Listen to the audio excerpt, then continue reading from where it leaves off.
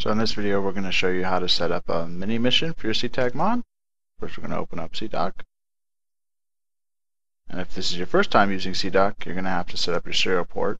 The easiest way to figure out which serial port the SeaDock actually uses is to unplug the SeaDock from your computer, then start this program and check this list, and it'll show you whatever ones you currently have, like I always have this COM3.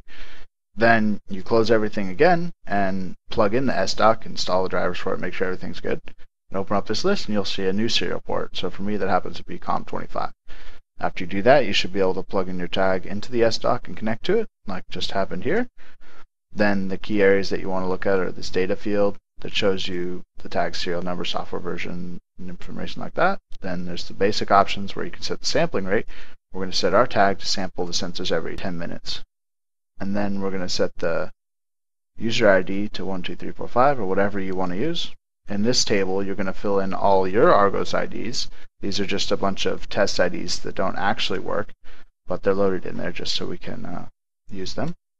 Then you're going to set the Argos options. You're going to want to pick one of your IDs. We'll give it this one, A, B, C, D, E, F, F. We'll set the mission to archival. We'll set it to transmit every kind of packet it wants to transmit. We'll set it to transmit for one week after the trigger. And we're going to set the start to the 24th, the end to the 27th, and the time of release to 12 o'clock UTC.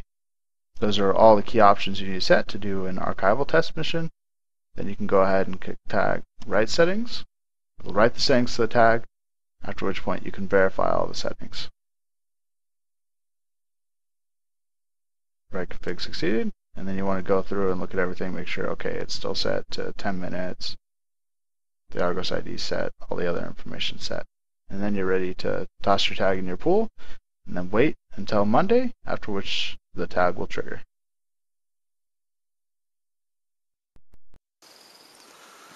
So this is an example of a, uh, a, test mini mission in archival mode of the SeaTag mod. And uh, what we did here is uh, uh place two SeaTag mods in a uh, container full of water. Think of it as a micro ocean. Uh, they are submerged in there as you can see. And the container is a dark blue color.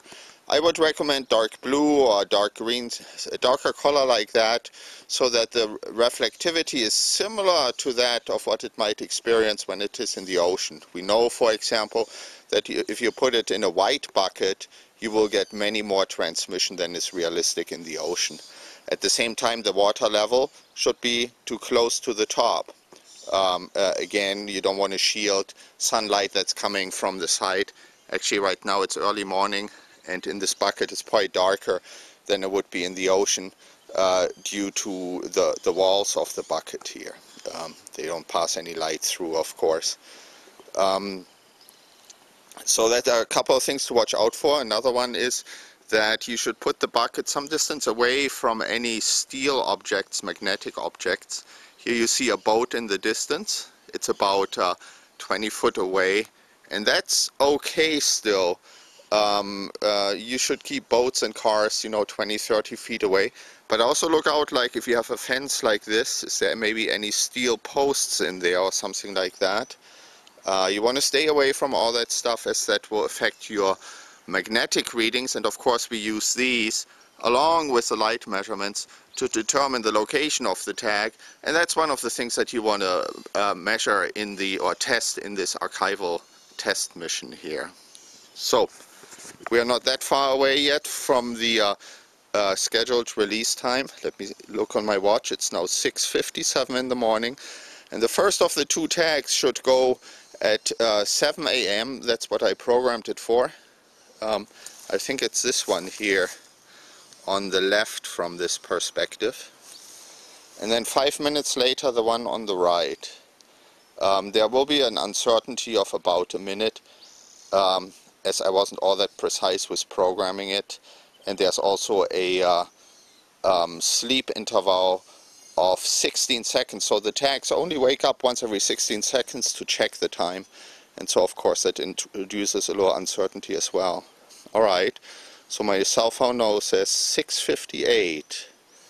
That is, uh, countdown is at two minutes.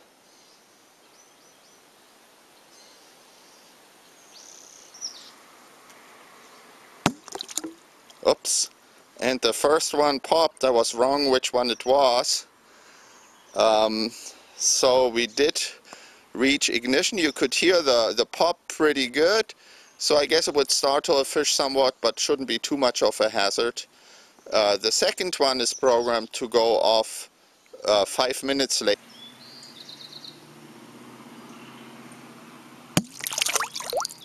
And there we go.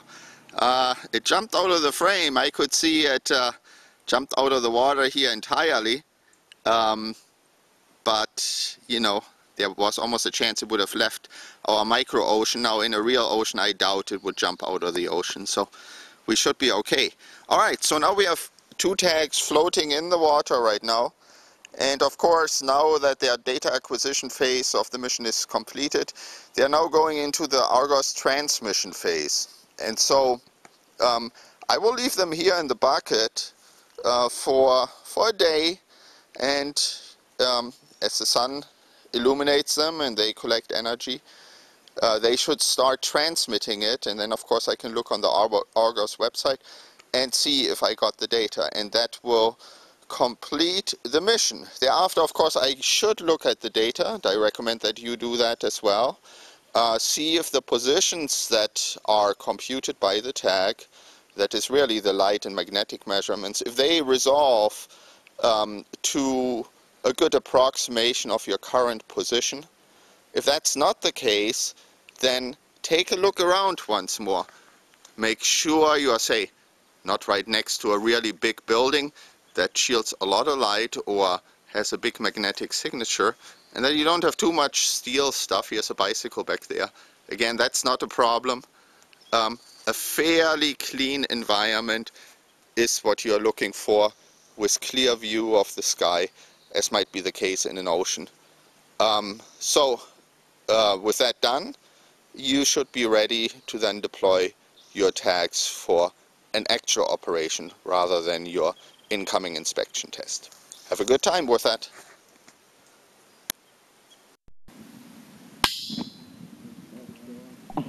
Please watch our other videos for information on how to actually process your logs.